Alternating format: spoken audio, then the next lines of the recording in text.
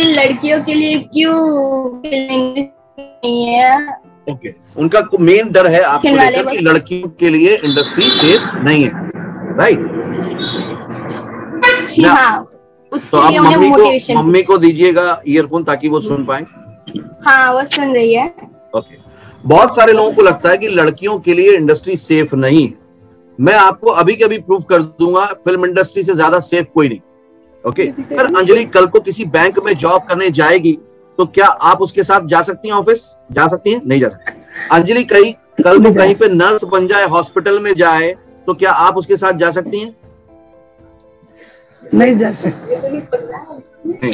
अंजलि कल को टीचर बन जाए कहीं पे बहुत अच्छी बहुत बड़ी पोस्ट पे हो जाए तो क्या आप उसके साथ जा सकती हैं? नहीं जा सकती सर कल को अंजलि एक आईएएस ऑफिसर बन जाए और जॉब पे जाए क्या आप उसके साथ जा सकती हैं? नहीं। लेकिन वो बॉलीवुड में काम करे और एक्टिंग करने जाए तो आप उसके साथ जा सकती वो भी प्रोड्यूसर के खर्चे पे। हमें जा सकते वो भी प्रोड्यूसर के खर्चे पे जा सकती हैं। इससे अच्छी इंडस्ट्री कौन सी होगी जो लड़कियों के और बच्चों के पेरेंट्स को अलाउ भी करती है और उनके एक्सपेंडिचर भी बियर करती है। इससे सेफ़ इंडस्ट्री नहीं है। इवन अंजलि अगर ऑडिशन देने जा रही है तो भी आप या पेरेंट्स कोई भी साथ में जा सकता है। और हाँ एक और अच्छी सेफ्टी की बात बता दूँ बॉयफ्रेंड नहीं जा सकता। वो बिल्कुल अलाउ नहीं सिर्फ़ पेरेंट्स ही जा सकते हैं और या कोई ब्रदर जा सकता है। तो इस इंडस्ट्री पे शक करना इसलिए गलत है जब वो आपको अलाउ कर रहे हैं इट मींस कि उनका मन साफ़ है। तभी तो अलाउ कर रहे हैं, नहीं तो अलाउ क्यों करेंगे? तो बिल्कुल बेफिक्र रहिए। और अभी बच्ची अगर घर में सीखने का मन बना रही है, सबसे अच्छी बात है अंजलि की एज क्या है अभी?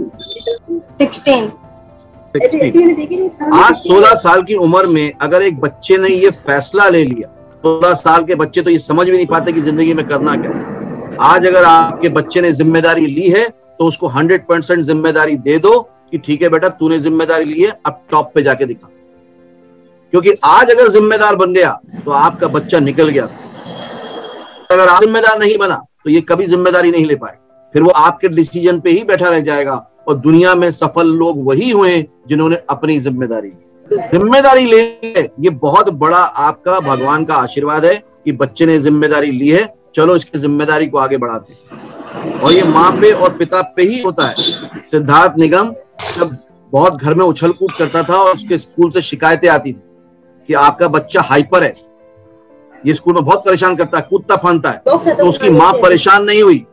उसकी माँ ने क्या बोला? यार, मेरे बच्चे में एनर्जी गजब की है, क्या करूँ? उन्होंने जाके उसको जिम्नास्टिक में एडमिशन कर दिया। क्योंकि उसमें एनर्जी थी। अब वो जिम्नास्टिक करता था, बहुत अच्छी, उसको भी मज़ा आता था। तो बॉर्न वीटा एड वाले ढूंढ रहे थे ऐसे बच्चे को, जो फ्लिप कर सके, उल्टा फ्लिप कर सके। उन्होंने अलग अलग जिम्नास्टिक के इंस्टीट्यूट में जाके बोला कि हमें एक बच्चा चाहिए। उनको वहाँ पे सिद्धार्थ निगम सिद्धार्थ निगम मिल गया बॉर्नवीटा का एड मिल गया। अब यश चोपड़ा को धूम थ्री के लिए आमिर खान के बचपन का कोई बंदा चाहिए? तो ऐसा चाहिए था जो सर्कस में काम कर पाए। उन्होंने उस एड को देखा और उनको से बुला लिया और धूम मिल गई। आज सिद्धार्थ निगम और उनका भाई दोनों बड़े बड़े एक्टर बन गए। तो बच्चे की ज़िम्मेदारी पे, बच्चे की एनर्जी पे फ़ौरन मान जाना चाहिए। हम वैसे तो कहते हैं कि बच्चे भगवान का रूप है। लेकिन बच्चे जिस दिन ज़िम्मेदारी लेते हैं तुझे कुछ नहीं आता। अरे, जब भगवान बोल रहा है कि बनना है तो बनने दो ना। दिक्कत क्या है? बाद में पछताने से बेहतर है आज कोशिश करके देखी जाए। और सबसे बड़ी बात है कि आज अंजलि घर पे ही सीख सकती है तो आपकी नज़रों के सामने रहेगी। आपको लगेगा ना कि बेटा तू बोल रही थी एक्टर बनना है तू प्रैक्टिस तो करती नहीं तेरी एक्टिंग में तो मुझे दम ही नहीं दिख रहा। तो तू नहीं बन पाएगी। तब बोलोगे तो बच्चे को समझ में आएगा। और आज वो अपने शहर से ही ऑडिशन भी दे सकती है। आज उसके पास एज भी अच्छी है। अगर कहीं काम नहीं मिला कुछ नहीं हो पाया तो आपको तो दोषी नहीं ठहराएगी वो। और आपकी नज़रों के सामने कर रही है। और अगर बन गई तो आपकी बच्ची खुश होगी या नहीं होगी? होगी। होगी। अच्छा उसकी खुशी देख के आप खुश होंगे कि नहीं? आपकी बच्ची जब सक्सेसफुल एक्टर बन जाएगी तो वो खुश होगी कि नहीं होगी? क्या आप खुश होंगे कि नहीं होंगे? फिर लोग आपके साथ भी तो सेल्फी खिंचाएँगे कि ये देखो अंजलि की मम्मी है इसके साथ सेल्फी खिंचाओ।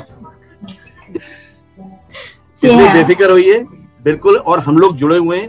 हमारी टीम जुड़ी हुई है। आप जब भी चाहें अपनी बच्ची को लेकर गाइडेंस ले सकते थैंक यू सर एक्टर बनने का सबसे आसान तरीका अवार्ड विनिंग एक्टिंग गुरु वीरेंद्र राठौर का best seller acting method switch on switch off acting method है।